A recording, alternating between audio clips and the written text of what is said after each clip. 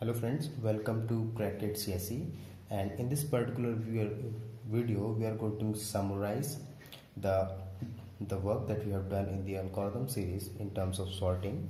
So what I did, did in this particular video is I'm just listing out the time complexity and space complexity all at one place so that you can easily compare the time complexity and space complexity of all the sorting algorithms right so here you can see that the time complexity of bubble sort selection sort insertion sort is nothing but order of n square in all the cases except one exception is there for insertion sort.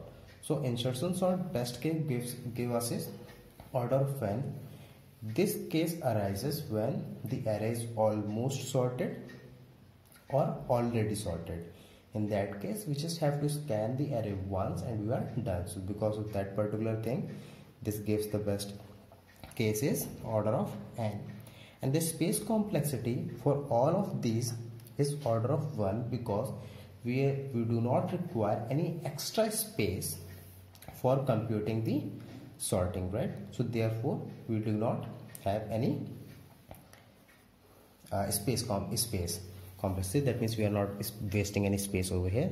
Because of that the space complexity for all the cases is order of 1 so this is the way you can memorize. You can just write the things in the particular way as I written over here is and just find odd one out to remember. Because sometimes what happens is they can ask you the time complexity directly for one mark right?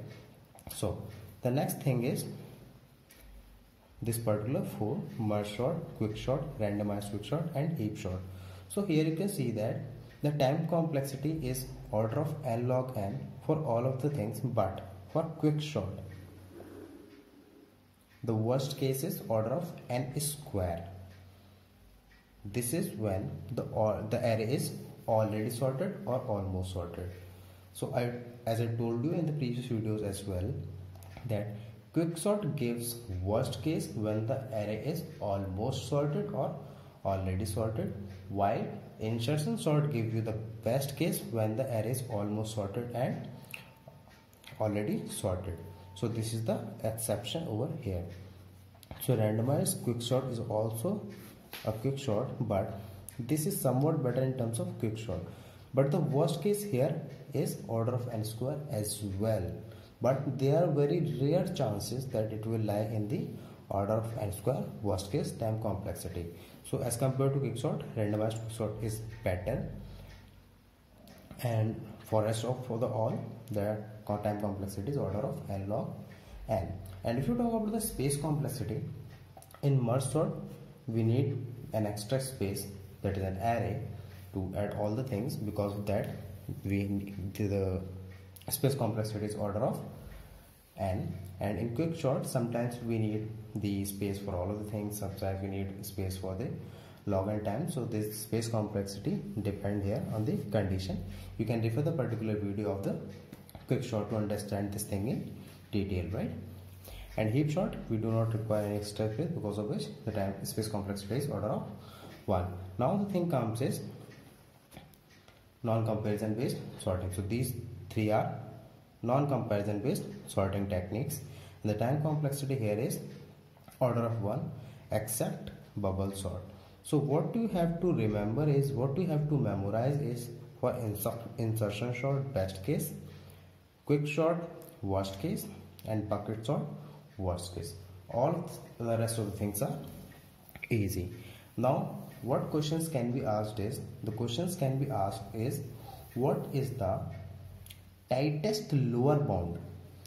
What is the tightest lower bound for comparison based sorting algorithm? So if the question is asking about the tightest lower bound that will be nothing but n log n because nothing is less than n log n. So the tightest lower bound is n log n but if there is a question like tightest upper bound the tightest upper bound is going to be order of n square because no one is going above that. That means lower bound you have to take the minimum time complexity and upper bound you have to take the maximum time complexity. So this way you can answer these of the questions.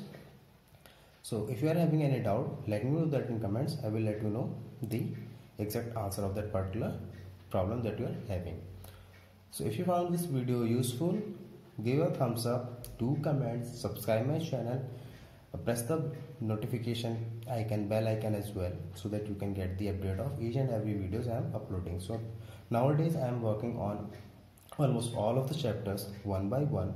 I'm not focusing on any single subject. So i'm trying to give you more and i'm working hard for that. I just need your commitment to be with me and learn as much as you can keep supporting keep learning have a great day